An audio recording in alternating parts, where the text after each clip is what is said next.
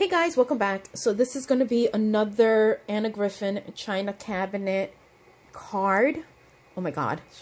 Like, I'm literally obsessed with this card kit. It's definitely my favorite. As you know, this is the first one I made into an easel, which was super cute. Okay. Then I made this one. Oh my god, look how beautiful. It says thinking of you.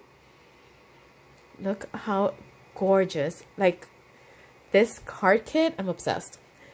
Okay, so I also made it into an easel. Okay. But with the help of Angie, and she is stamping with Amore, she gave me the, the dimensions, the measurements for the box. So if I wanted to send goodies, it's a little tight. Hold on. There we go. You can send goodies, chocolate or whatever. Let's say someone is feeling, you know, a little blue. You want to send them a thinking of you. You send them some chocolate, some goodies or whatever.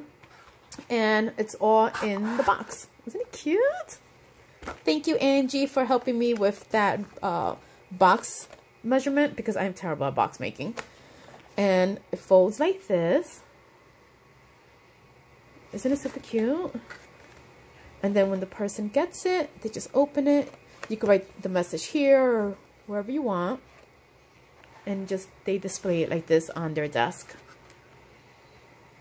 Isn't it cute? It's like so like elegant. It's gorgeous. Like this kit is gorgeous. I'm telling you, I can't stress it enough. Isn't it beautiful? I think I'm gonna do, I, I love the whole easel part of them. You know? I do love the whole easel. But I love the box with it because then you can send them chocolates or uh, little tea bags or whatever. And there you go.